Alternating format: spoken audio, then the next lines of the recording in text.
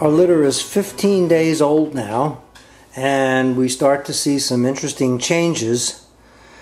I want to show you the face of a tricolor and the face of a black and tan. And take a look and see if you notice any differences. Oh, you. Hello, little pudge belly. Well, since Apple is turning over like that, all right, let her yawn. Now take a nice close look at Apple's face. Eyes are open, of course. And look at her head and her body, but especially the face.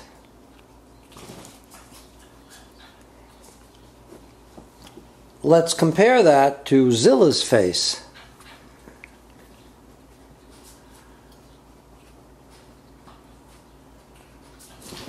If you'll notice, Zilla's nose is nice and jet black. She has white markings on her chin and her chest and her paws that are really not desirable in a black and tan. However, um, her nose is jet black. Apple's nose has little stipples of black. Those are just coming in. If you go back and see some of the videos from when these puppies were first born, you'll see that the tricolors were born with pink noses, but the black and tans were born with black noses. That's the way they are. Black and tans and rubies, being whole colors with no white, are generally born with jet black noses. Whereas Blenheims and tricolors, who do have white in them, are born generally with pink noses and the black grows in.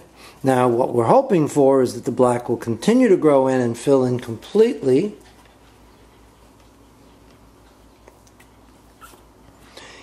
Take a look at Joy's nose. Joy is uh, getting the pigment in her nose a little bit faster. And according to the breed standard for Cavaliers, if they are to be um, good show dogs, then we would expect that nose to be completely jet black. And any flesh colored marks on the nose would be something that we would not want to see in a show dog. Another thing that's kind of interesting is the black hair on the tricolors. Again, apple. If you look at her markings, you might notice if you've been following since she was born that the black hair seems to be coming in a little bit more than when she was born.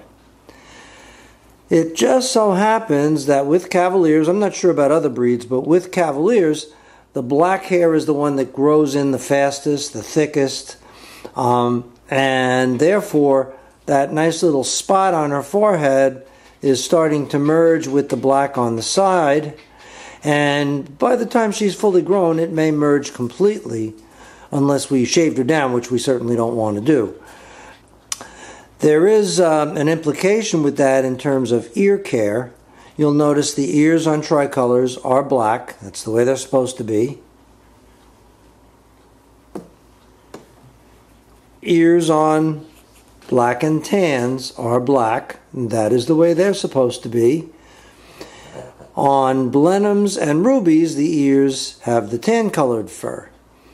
So, therefore, we would expect that with tricolors and black and tans, the ears would grow in thicker, longer, fuller, and generally they do.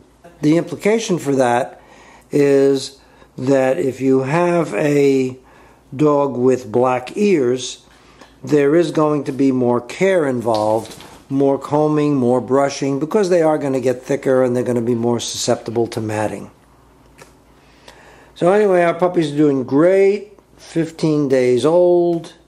Very, very cute. So we'll let them sleep a little and then we'll let Bootsy in to nurse them again.